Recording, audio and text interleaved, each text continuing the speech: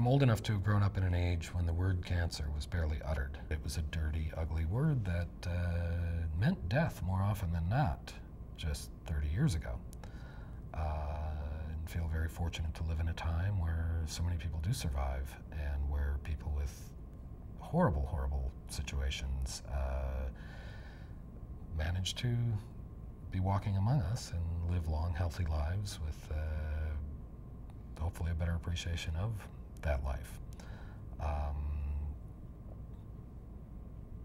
at the same time, it seems like uh, I have met more people since having cancer who have had cancer. I don't know if it's just the fact that it, it comes up in conversation and someone will confide, well, gee, I've had cancer too. And uh, just like when you buy a red car and suddenly you see you know, how many red cars there are on the road with testicular cancer, they don't know what causes it to this day.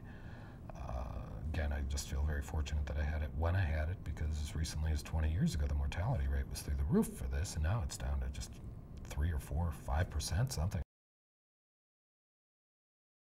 I've probably had at least a dozen men come up to me though and say, uh, "How did you know?"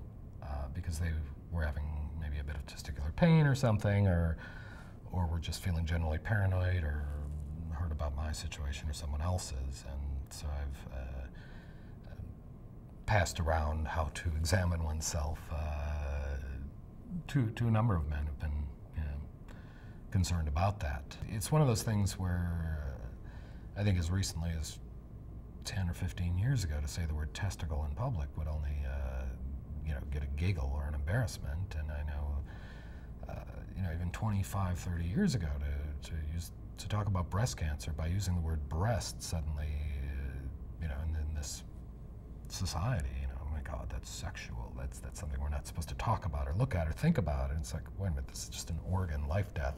And as the years go by and people get a little more mature about these things, there are fewer and fewer snickers when talking about uh, such body parts. Well, there's a lot of cancer in the family to begin with, uh, so me getting it was not that surprising to begin with. Um, and again, it, it's one of those things that to worry about it is, is futile. It, it's uh, they're all going to go one day, maybe before me, maybe after me.